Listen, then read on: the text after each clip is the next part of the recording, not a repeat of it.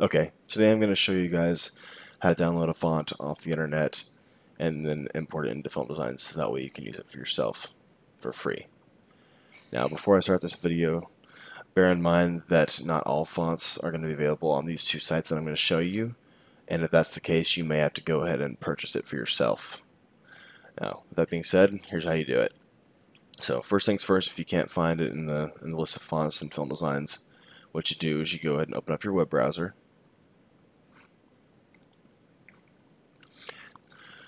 Now, you can either go to dafont.com, D-A-F-O-N-T.com,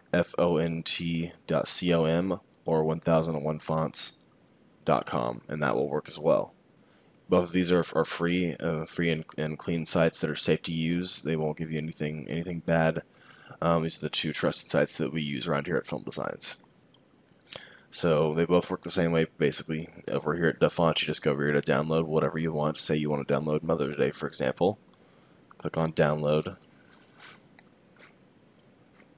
Wait for it to come up. Down here at the bottom of the, of the screen here, you'll see uh, options to go ahead and open and save it. Go ahead and click Save As. It's going to pop up a dialog box here on the side. It's going to ask you where you want to save it save it to. Just go say to your desktop. It's already free to, free to find of your desktop, so that's fine.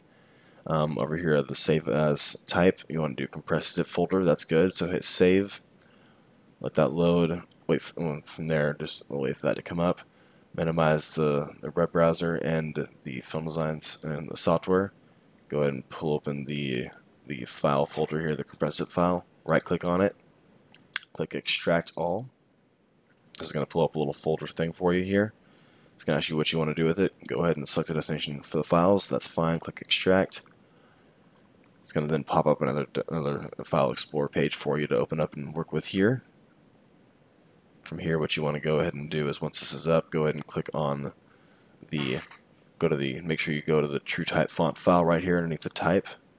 That's the one you want. Double click it open it up. It's going to bring you up open up big uh, a big dialog box for you to work with here.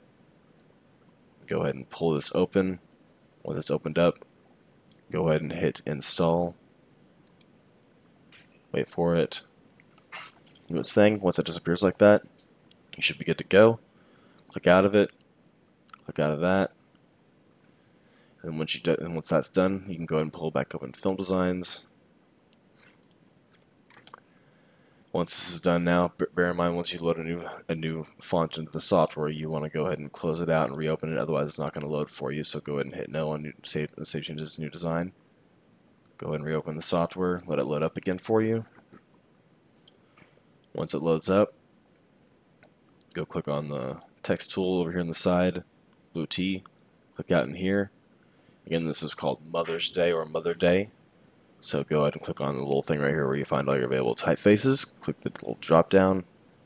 Look through here until you find it. Go down to the M's. Keep scrolling until you find it.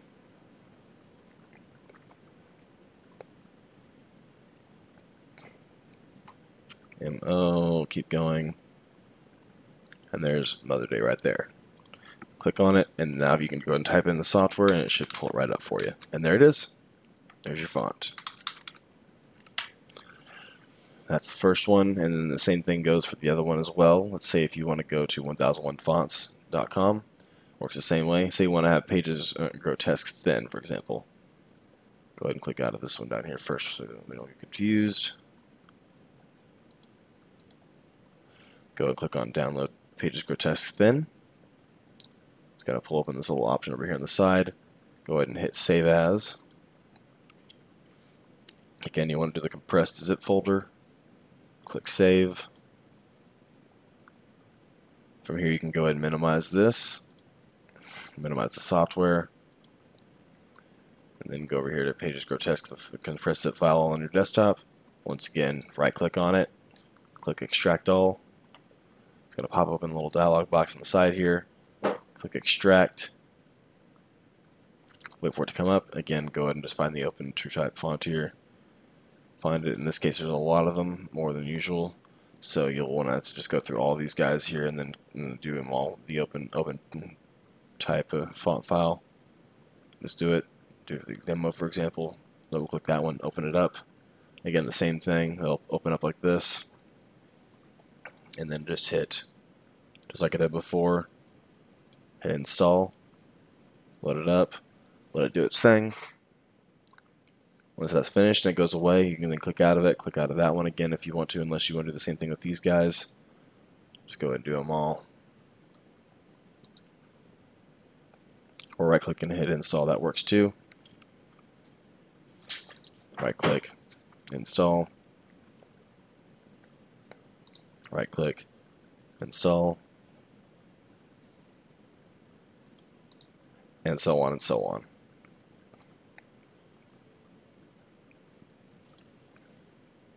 Once that's done, you can go ahead and open the software back up again. Pull it back open. Bear in mind, once it's been uh, once it's been pulled up like before, go ahead and want to exit out of it. Don't save new save changes in design one. Pop the software back open again. Let it load. Again, you want to go to the text tool, little T on the side. Click in anywhere in, into the middle of the text there. Wait for it to load up in the software. Click on the little drop down thing again here for you. And then go down to all the way to Pages Grotesque, all the way down at the bottom. Search for an alphabetical order. And there's your there's your images right there, your options for you. Got Pages Grotesque Demo, Pages Grotesque Black Demo, etc. Once that's done, you can go and click on whatever one you want.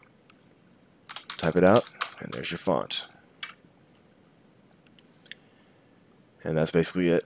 And that's how you download a font off of online on the internet and open it up and download it and install it to Film Designs.